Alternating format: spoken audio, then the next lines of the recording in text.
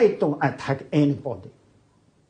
I'm the peacefully. Just That, that's not true, though, is it, Consul General? You, you pulled the man's hair. yeah. The man is because he's abused my country, my leader. I think it's a, it's my duty. To pull his hair? Yeah, I think that any diplomats, if uh, faced to such kind of the behavior, Going too much. Ten Square. Why? Why? I think my duty.